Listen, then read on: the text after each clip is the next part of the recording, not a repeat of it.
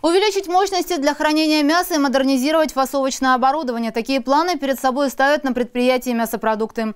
Сейчас компания продолжает вывоз заготовленного мяса в Наринмар. Как вы оцениваете мясо в этом году? Насколько оно хорошее? Нормальное мясо, обычно. Ну, олени нормально упитанные? Нормально, лучше, нормально.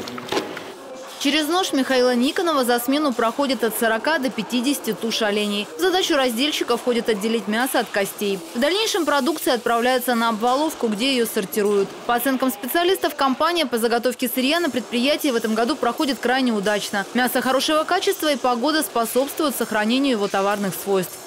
Несколько сдвинулись, конечно, из-за того, что были тепло в ноябре э, и декабре она сдвинулась по времени. Это хуже. Но, тем не менее, в общем-то, упитанность в этом году довольно высокая. И э, вес, э, средний вес молодняка тоже, туши молодняка превышает 30 килограмм. Но, видимо, сказались э, хорошие условия эм, значит, в весенний-летний период.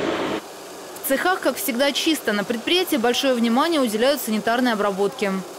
Мойка оборудования и цехов проводится ежедневно, во всех цехах, ежедневно. И моющими средствами и дезинфицирующими предприятие обеспечено в полном объеме и э, такого хорошего качества. Значит, мы получаем из Питера, из известных фирм.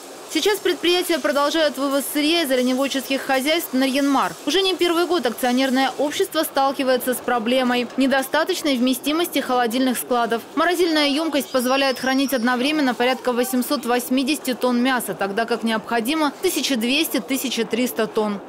Нам предстоит в этом году обязательно спроектировать, пройти соответствующую экспертизу и построить морозильную камеру емкостью минимум в 300 тонн.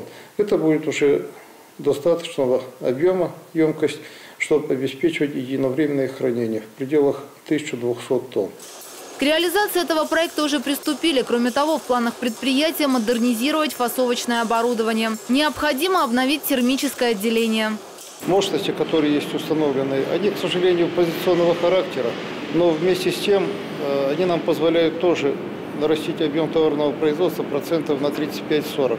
Это будет хороший, очень хороший объем. Вместе с тем, для расширения ассортиментной линейки нам нужно провести модернизацию фасовочного оборудования.